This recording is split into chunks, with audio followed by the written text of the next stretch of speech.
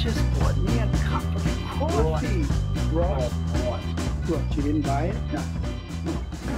We're having a discussion about a cup of coffee. Yes.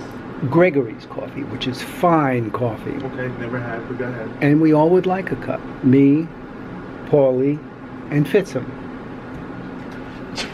The problem is, Fit some separate. well, he, he will, he wants one, we know that. Paul has the money and the wherewithal to get it. He refuses to do that Why does he have to pay and or hoof do the hoofing? because, he, because no one else can do it. Why you can't get up and get a cup of coffee? I. I- I don't- brand new knees. I don't have two brand new knees. I don't have the money for it. Then you shouldn't be drinking it, my friend. Is what I would tell my son. Really? I shouldn't be drinking it? You shouldn't be drinking Gregory's coffee. You cannot afford said coffee. Well, I can't, which is why I don't. But I was hoping that Paul would get a cup for me and for Fitzham, and then both of us would enjoy it, all three of It us. is my suspi- suspicion in this relationship, he's laying out a far greater amount of fundage and food to this relationship. Well, that may be true.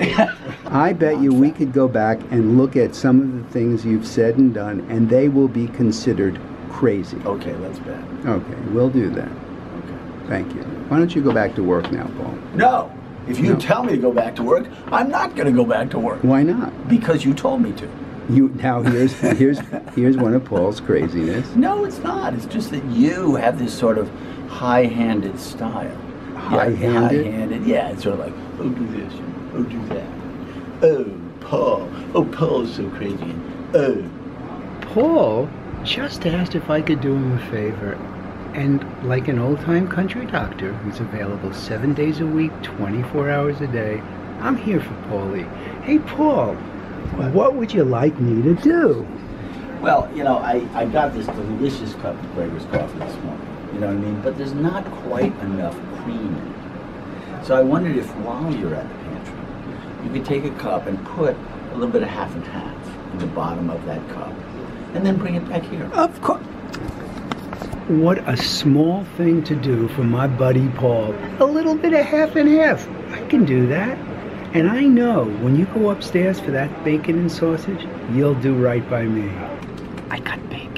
Look at this. It's magnificent. Mm. That looks so good. Mm. Mm. This is delicious. Mm. Excellent bacon. Paulie came through today. Mm. Hey, Paulie. Oh, he's busy now. I gotta get some eggs to go with it. Perfect. Mm. Paulie just came up with a brilliant idea. He said he wished work was like a survivor and that every week we could vote someone off.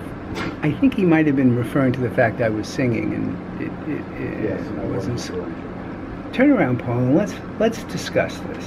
You sing a song instead of just singing the song.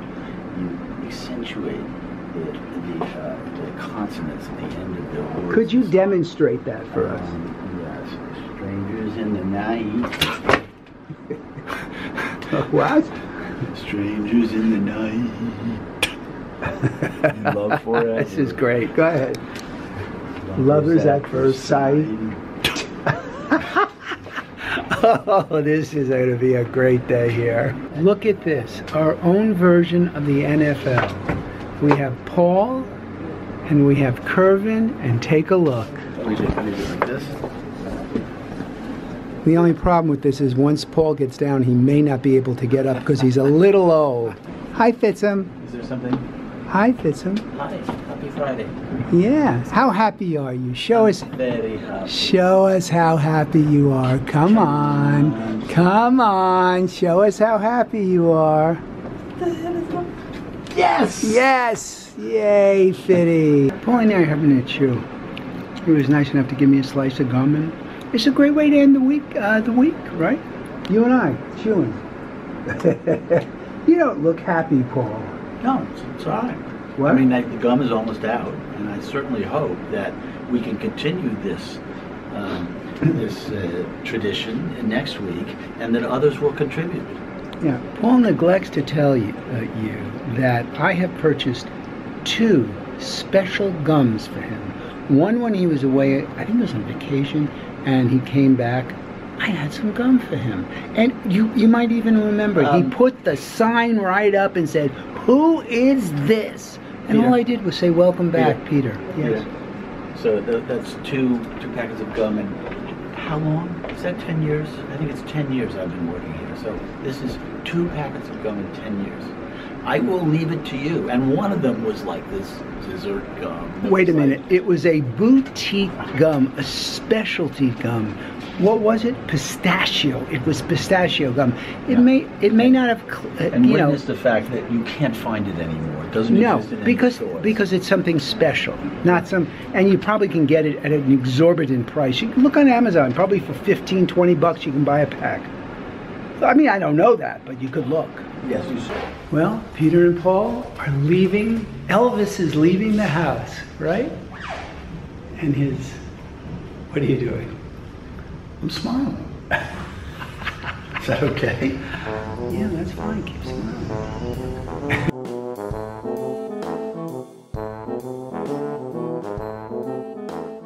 Because this is true.